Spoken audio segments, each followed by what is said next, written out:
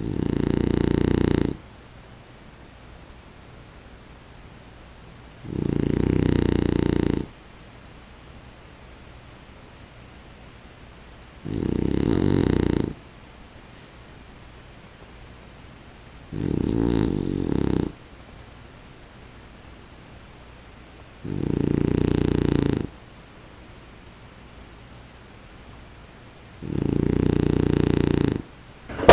Today's episode, I'm going to be installing the UV LED strips into my footwell underneath on both sides. So let's get started. First step is obviously to determine how much LED strip we need, our width of the footwell. I'm to make sure where I'm going to actually be mounting this. Looks like I should be able to mount it to the back of this strip here. So I'm to pull off a little bit, actually fit it up there. All right and then go to the closest cut point. So we'll just go there. Now we'll do the same thing on the driver's side. We want to determine where we can actually mount these. Looks like it's going to be just right there. So about the same length. Should work. Now I'll head back inside. I'll solder some wires onto the ends of these and then we'll get to the part where I disconnect the interior light switch and wire these into it so that when the doors open they come on or if I turn the interior light switch on they'll come on.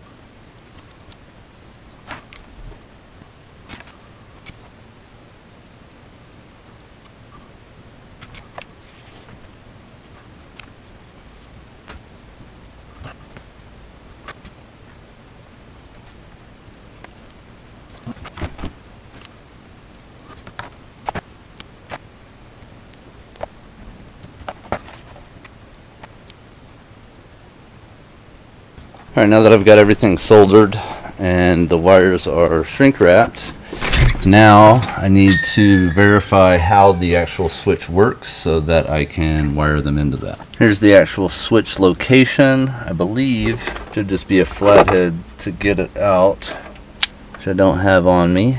So, yep, there we go. Just pop off the cover and then, awesome. So it just pops right out.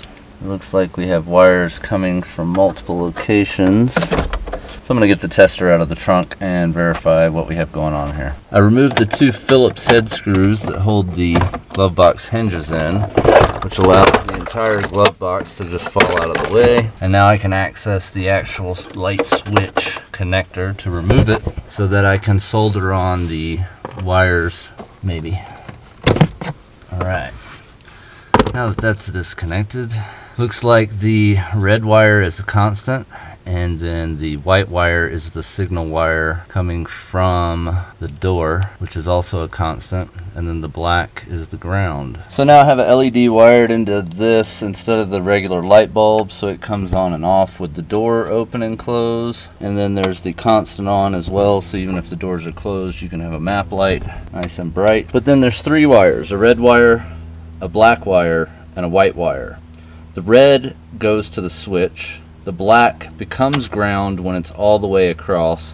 The white becomes ground when it's in the middle and when one of the door switches are out. So if a door is open, then the white becomes ground. So I've left this to where this controls this only, and I've tied off of these so that now what I have is a red wire going constant to the LED strips. And then I've got a switch that I'm gonna run through the ground. So I can turn the constant ground on and off. So this will actually turn the lights on all the time. If this is off and the door is open, then those will come on as well. Whether this switch is in the on or off or not, doesn't matter. There's a way to do it with resistors. I really don't feel like bothering with it so that this controls those as well and vice versa. But for now, it's just this switch will turn them on and off constant. Otherwise, the door switch will turn them on and off as well. Okay, so hopefully all that made sense. Wiring tends to get a bit tricky, but now what I have to do is wire in the actual toggle switch so that the wires all run to the same spot and that they work properly.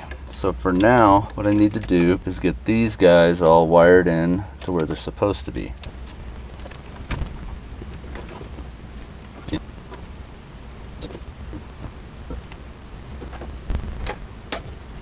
So we have the switch in the off position. Everything's wired together. The switch is actually disabling the ground of the constant. So what will happen is if the door opens, the lights come on. Door closes, lights are off. And then even if the door's closed or off, we can turn the switch on and then we have constant on. Even if the door's open and closed, it doesn't matter. Switch off, Doors open, doors closed. Now we put everything back together. All right, so now what I have is a couple of switches here. Again, this switch is switching from breathe mode on the underglow LEDs to constant on. This is the LED underglow on switch. And then we have the footwell glow switch, which will, even if off, will come on when the door opens and back off when the door closes on, off, on, off.